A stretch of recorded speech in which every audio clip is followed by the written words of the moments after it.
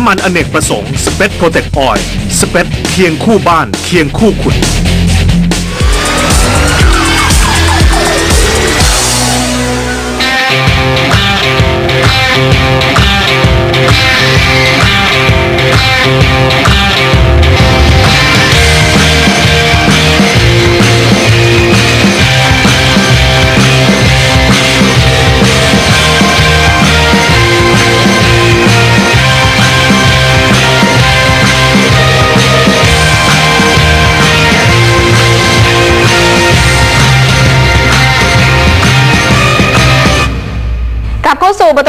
Battery on Air นะคะในช่วงของการเทสรถนะคะหรือว่า Test Drive นั่นเองค่ะ ในช่วงนี้คุณโก้ได้มีโอกาสไปทดสอบรถ Mercedes-Benz นะคะครับที่น่าสนใจคือเป็น C Class S Class เนี่ยตอนนี้เป็นปลั๊กบินปลั๊กอินไฮบริดครับนะคะคุณไปลองตัวไหนมาคุณ ก็ลองทั้งคู่เอาลองทั้งคู่เลยเหรอนะครับทั้ง C class ทั้ง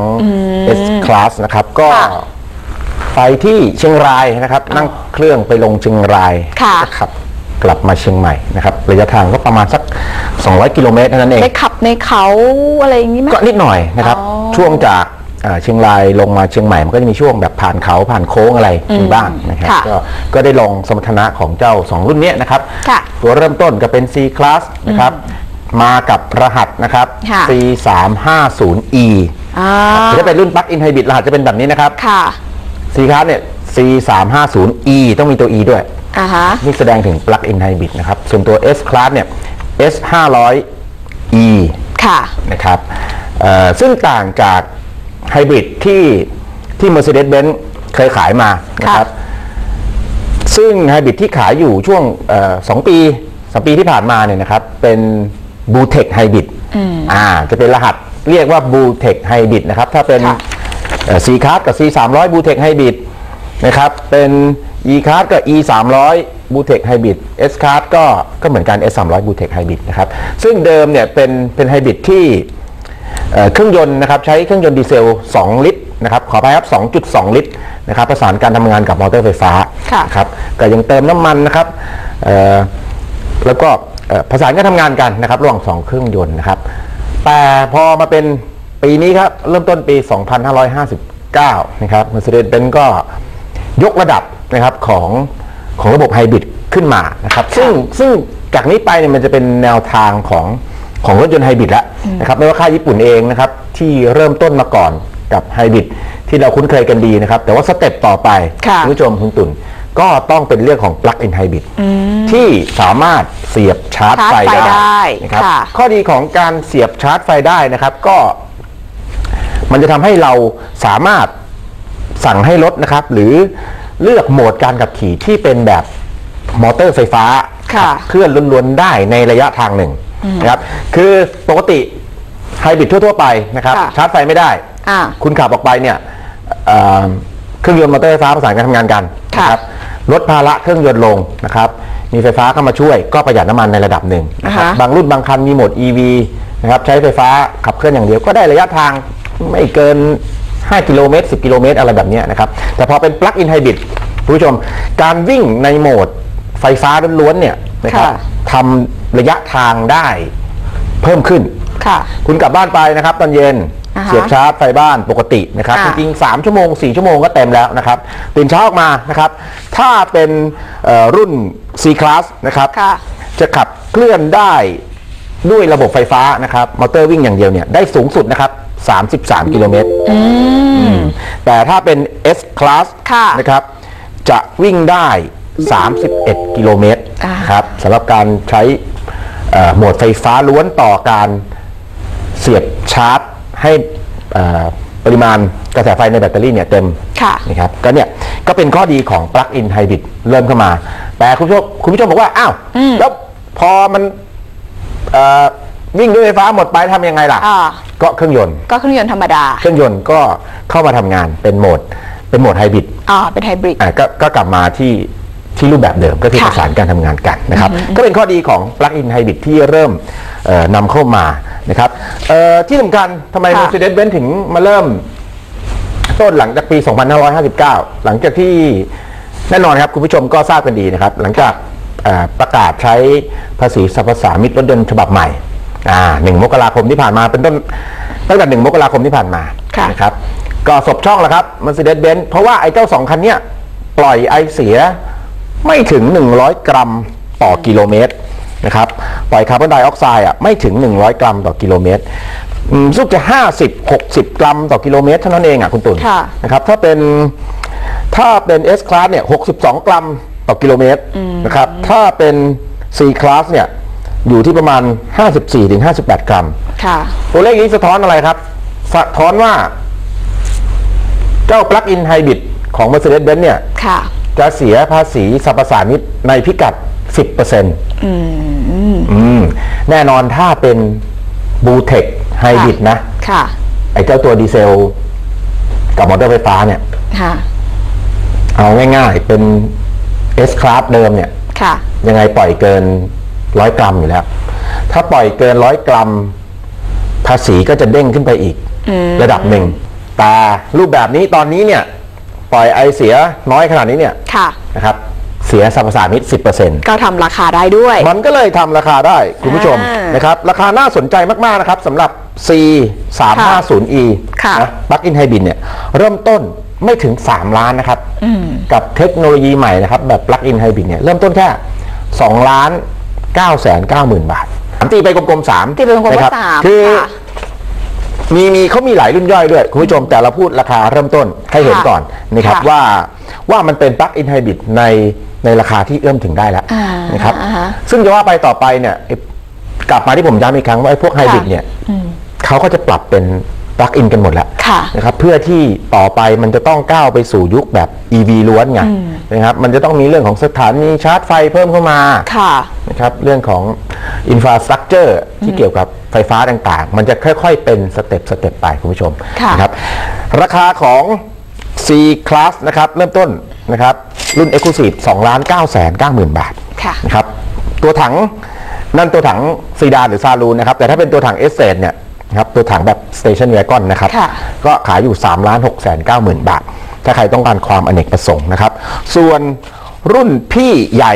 นะครับ รุ่นพี่ก็คือ S Class เนี่ยนะครับราคาก็น่าสนใจคุณผู้ชมค่ะ S 5 0 0 E เนี่ยเริ่มต้น 6 ล้าน3แสน9หมื่นบาทอืมถ้าเทียบกับเจ้า S 3 0 0 b l u t e c h Hybrid เดิมนะครับค่ะตัวนั้นเริ่มต้น5ล้าน9แสน9หมื่นบาท อืมก็แสดงว่าพอเป็นปลั๊กอินไฮบริดก็ขยับราคาขึ้นมาประมาณสัก2แสน3แสนค่ะ แบบนี้นะครับ แต่ยังถือว่าเป็นเป็นเทคโนโลยีที่ตามตามเทรนด์ของโลกอะ่ะ อืมก็ไม่ใช่ว่าแบบ Mercedes-Benz เขายังให้เราใช้แบบเทคโนโลยีไฮบริดเก่าๆอยู่อะค่ะ เมืองนอกมีไฮบริดแบบปลั๊กอินมาแล้วก็เอาเข้ามาขายในเมืองไทย ที่สำคัญประกอบในประเทศด้วยนะครับ โครงสร้างภาษีเอื้อราคาก็ ออกมาสวยงามค่ะอย่างที่เห็นนะครับ มาที่เรื่องสมรรถนะการขับขี่คุณผู้ชมอย่างที่บอกว่า ถ้าชาร์จแบตเตอรี่นะครับ3-4ชั่วโมงเนี่ยชาร์จเต็มเนี่ยค่ะเจ้า S Class เนี่ยวิ่งได้ไกลด้วยระบบไฟฟ้าล้วนเนี่ยนะครับ31 กิโลเมตร แต่ C Class เนี่ยนะครับ33 กิโลเมตรวิ่งได้ไกลกว่าหน่อย นะครับในโหมดในโหมดของไฟฟ้าล้วน ซึ่งเขาจะมีให้เลือกค่ะเขาจะมีให้เลือกนะฮะจริง ๆ ปุ่มมันจะเลือกยากนิดนึงมันจะอยู่ตรงคอนโซลกลาง ตรงปุ่มแบบคอมมานด์ควบคุม มันจะอยู่ทางด้านซ้ายของคนขับนะครับ เลือกโหมดการขับขี่ได้นะครับ หลังจากสตาร์ทเครื่องออกมานะครับ จริง ๆ อาจจะไม่เรียกสตาร์ทเครื่องก็ได้มันเครื่องมันยังไม่ติดค่ะสตาร์ทระบบมามันจะขึ้นหนู ready พร้อมแล้วครับเจ้านายนะครับ แต่จะเงียบมากนะฮะ ยังไงเปิดมาเนี่ยระบบก็จะหลังจากสตาร์ทระบบหรือสตาร์ทเครื่องเอาเข้าใจกันง่ายๆเนี่ยระบบมันก็จะ default เป็นไฮบริดก่อนเลยโหมดไฮบริดก่อนเลยค่ะนะครับแล้วจากนั้นขึ้นอยู่ว่าคุณจะเลือกเป็น e mode e save หรือ e charge นะครับแบ่งเป็น 4 โหมดนะฮะโหมดไฮบริดแน่นอนว่าเครื่องยนต์กับมอเตอร์ไฟฟ้าทำงานประสานกัน ออกตัวเนี่ยเหยียบคันเร่งแบบพอดีพอดีไม่ต้องกดแรงนะครับแต่ไม่ถึง 50%เนี่ยค่อยๆออกตัวไปเนี่ยนะครับ ในโหมดไฮบริดนะฮะเริ่มต้นการทำงานออกตัวด้วยมอเตอร์ไฟฟ้าอย่างเดียวก่อน ไล่ความเร็วได้ถึง 80 กิโลเมตรต่อชั่วโมงอะค่ะ สูงนะครับ เพราะปกติไฮบริดเดิมๆเนี่ย แต่ออกตัวด้วยไฟฟ้าก็จริง มอเตอร์ไฟฟ้าขับเคลื่อนก็จริง แต่ว่าพอออกตัวไปสักพักหนึ่งความเร็วสัก 40 กิโลเมตรต่อชั่วโมง เครื่องยนต์ก็ติดแล้วอืมเครื่องยนต์ก็ติดแล้วนะครับ แต่เนี่ย แตะเนียนๆนิ่งๆ ไม่ต้องถึงกับเครียดด้วยนะแบบค่ะแตะปกติอะแต่ไม่ต้องแบบเหยียบจมมิดอะไล่ความเร็วได้ถึง 80 กิโลเมตรต่อชั่วโมง ซึ่งถือว่าทำความเร็วได้ได้ดีมากค่ะนะครับสำหรับเอ่อเจ้าเจ้าไฮบริดแบบปลั๊กอินนะครับ ส่วนพอเลยจาก 80 กิโลเมตรต่อชั่วโมงขึ้นไปเนี่ยเครื่องยนต์ก็จะเริ่มติดขึ้นมา จริง ๆ เรื่องความเร็วหรือเรื่องตัวเลขเนี่ยมันแวรี่ตามตามน้ำหนักเท้าตามเงื่อนไขหลายอย่างด้วยนะครับเอ่อ แต่ผมผมเล่าจากการที่ผมทดลองขับเนี่ยนะครับ พอพอเครื่องยนต์ติดขึ้นมา เครื่องยนต์ติดขึ้นมาก็แทบจะไม่รู้ว่าเครื่องยนต์ติดค่ะมันเงียบมากและเบามาก ถ้าไม่สังเกตที่รอบเครื่องยนต์ติดขึ้นมาคุณเห็นไหมคุณขับไปปกติเนี่ย อย่างจากสตาร์ทระบบสตาร์ทเครื่องเนี่ย default เป็นไฮบริดค่ะให้มันประสานการทำงานกันไป แต่ว่ามันเป็นระบบที่ทำงานเงียบและนิ่งมากค่ะช่วงไหนเป็นไฟฟ้าช่วงไหนเป็นเครื่องยนต์เนี่ย ถ้าสายตาไม่ดูรอบนะ ว่ามันเด้งขึ้นนะ คุณแทบไม่รู้เลย คุณแทบไม่รู้เลยนะครับ คืออย่างตัว C Class เนี่ยมากับเครื่องยนต์เบนซิน 4 สูบ 2 ลิตรค่ะนะครับ C class นะครับ แต่ถ้าเป็น S class เนี่ยก็จะวางแบบใหญ่หน่อยนะครับ เป็นแบบเอ่อ V6 นะครับ 3 ลิตรเทอร์โบคู่ค่ะนะฮะก็เนี่ย มันเงียบจนแบบแบบไม่น่าเชื่อนะครับ มาดูสมรรถนะกันนิดนึงนะครับ ในแบบระบบไฮบริด ค่ะนะครับประสานการทำงานเนี่ยนะครับเริ่มจาก C class ก่อนนะครับเครื่องยนต์เป็นเซนสี่สูบประสานการทำงานกับมอเตอร์ไฟฟ้าเนี่ยนะครับรวมพลังทั้งระบบเนี่ยนะครับมันอยู่ประมาณ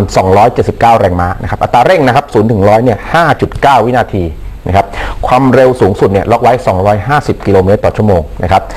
แต่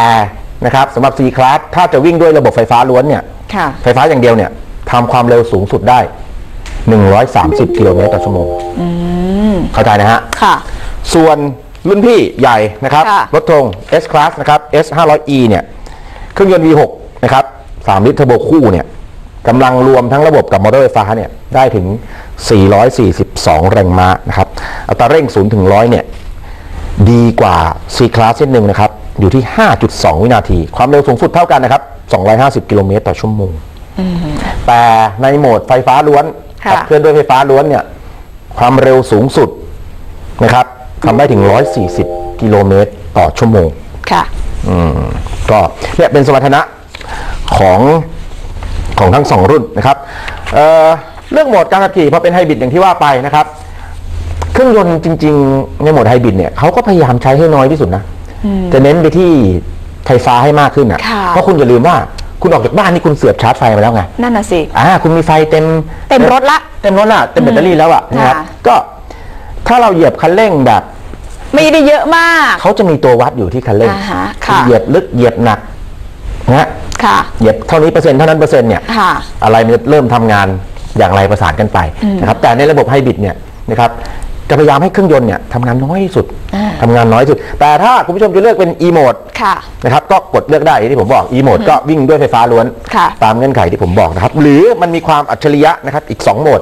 ก็คือ e save อ่า กับโหมดชาร์จนะครับค่ะ โหมด e save เนี่ยจะเป็นการแบบให้คุณเริ่มมีการวางแผนเพื่อใช้พลังงานได้อย่างแบบเอ่อมีประสิทธิภาพหรือประหยัดน้ำมันมากที่สุดอะค่ะ นะครับ e save เนี่ยถ้ากดไปแล้วปุ๊บเนี่ยเขาจะจำค่า ของปริมาณของกระแสไฟในแบตเตอรี่ในขนาดนั้นไว้ ถ้าคุณกด e save นะครับ เริ่มใช้โหมด e save ตอนที่แบตเตอรี่มีสัก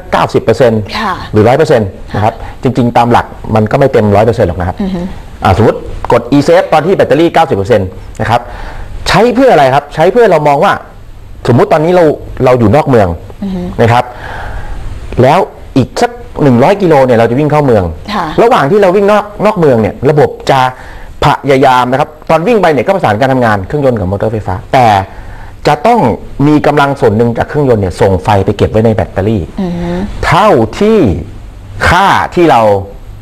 กดโหมด e ีเซไว้ตอนนั้นค่ะสมมติเรากดตอน 90%ค่ะคุณวิ่งไปร้อยโลนอกเมืองนะครับค่ะเครื่องยนต์มอเตอร์ไฟฟ้าทำงานประสานกันแต่เครื่องยนต์ก็จะต้องส่งไปส่งกำลังนะครับ กลับไปเก็บ ในแบตเตอรี่ค่ะนะครับให้ได้ 90%ก่อนที่คุณจะเข้าเมือง พอคุณเข้าเมืองปุ๊บคุณมีแบตเตอรี่ 90%แล้ว ค่ะ แล้วยังไงครับ คุณก็วิ่งด้วย EV ก็วิ่งไปเลย EV อ่า อ่าก็ไม่ต้องพึ่งพาเครื่องยนต์ ค่ะ ถูกไหมครับ นี่เป็นค่ะ เป็นความอัจฉริยะนะครับ เช่นเดียวกับโหมด e-charge นะครับ ก็ลักษณะการทำงานจะคล้าย ๆ กันก็คือว่าเอ่อเครื่องยนต์ก็จะพยายามค่ะ ส่งกำลังกลับไปเก็บไว้ในแบตเตอรี่ ให้ได้มากที่สุด แต่ไม่ได้จำค่า ไม่ได้จำค่า ค่าแบตเตอรี่ ค่ะเหมือนโหมด e-save อ่าน นะครับ e-charge เนี่ยก็จะขับเคลื่อนด้วยเครื่องยนต์เพียงอย่างเดียวค่ะนะครับแล้วก็ส่งพลังไปเก็บไว้ในแบตเตอรี่ พอแบตเตอรี่เต็มเมื่อไหร่ ค่ะ จะตัดกลับเข้ามาในโหมด e-save ซึ่งมีไฟฟ้าช่วยเหลือบ้างอะไรเงี้ยก็จะจะประหยัดน้ำมันสูงสุดนะครับ มีค่ะคือเลือกเองได้คุณผู้ชมนะครับ คือนอกจากโหมดของพวกไฮบริดเนี่ยคุณผู้ชมก็ยังเลือกแบบโหมดแบบแบบพวก sport sport plus อ่าฮะ ก็ยังมีอยู่นะครับยังมีอยู่นะครับ พร้อมกับเอ่อการปรับเอ่อ ช่วงล่าง งั้นเดี๋ยวเรามาบายเอาบายไหมคะ เชิญครับ ค่ะ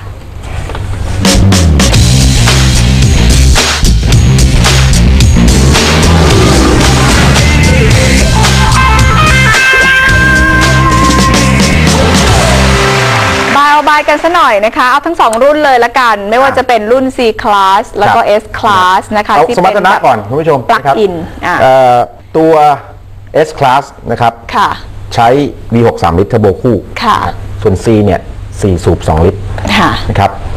เอ่ออัตราเร่งเนี่ยเมื่อประสานกับมอเตอร์ไฟฟ้าเนี่ยเหมือนเอ่อตามตามตัวเลขเนี่ยนะครับ S Class จะดีกว่านะครับ S Class จะดีกว่า แต่เวลาขับจริงเนี่ย ค่ะ S Class มันใหญ่ไงมันนิ่ง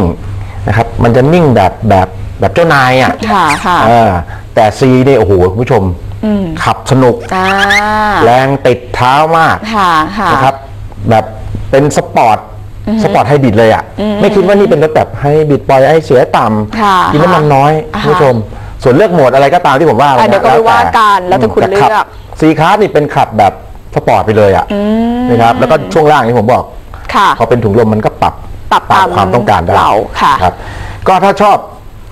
จริง ๆ มันต่างกันสุดขั้วเลยนะใครซื้อสองรุ่นนี้มันมันมันไม่มี มันไม่มีการมาผสมรวมกันอยู่แล้ว ก็ราคามันก็ต่างกันสุดขั้วอยู่แล้วล่ะค่ะคุณ แค่เล่าสมรรถนะให้ฟังอ่าฮะ เล่าสมรรถนะให้ฟังว่าโอ้โหมันซีคาร์มันเป็นสปอร์ตไฮบริดเออ ขับสนุก ในราคานี้ ในราคานี้ด้วย และอยากค่ะเลือกโหมดประหยัดคุณก็ค่ะปรับไปปรับการขับขี่ของตัวเองปรับโหมดให้ค่ะเหมาะสมนะครับ ส่วน S Class ก็ยังคงความนิ่งความเงียบอืมและผมย้ำอีกทีว่า ไอ้เครื่องยนต์กับมอเตอร์ไฟฟ้าที่ประสานการทำงานด้วยกันเนี่ยถ้าคุณไม่มองจอมอนิเตอร์อะนะคะว่าอะไรทำงานเมื่อไหร่แทบไม่รู้อ๋อนุ่มไม่ได้นวลรู้สึกว่ามันกระตุกกระตักกระตักอะไรหรืออะไรยังอยู่ไงแล้วไม่กระตุกอยู่แล้วแล้วอ่าหรือว่าพอเปลี่ยนคงแปลยงนต์ทำอะไรนหรือว่าเราจะรู้ เราจะรู้ว่าเอ้ยอันนี้เป็นเครื่องอะไรอยู่ครันะบตอนนั้น คือเราไม่ได้รู้สึกขนาดนั้นครับ นะคะ ดูดูหน้าจอเอาอะต้องดูหน้าจอเแต่โอเคละเวลามีเข็นคันเร่งเสียงเครื่องยนต์มันก็ต้องมีมาบ้างนิดๆหน่อยอ่าฮะ ๆนะครับแต่ถ้าขับแบบปกติเนียนๆเรียบๆเนี่ยค่ะโอ้โหระบบทำงานสมูทมากนะครับเอ่อพร้อมกันนี้ครับ Mercedes-Benz ยังรับประกันนะครับค่ะแบตเตอรี่นะครับ5บวก5ปีเออทำไมไม่บอก 10 ปี ทำไมต้อง 5 บวก 5 คืออะไร คือเขาบอกว่า 5 ปีแรกเนี่ยค่ะ นะครับรับประกันโดยไม่จำกัดระยะทาง อ๋อ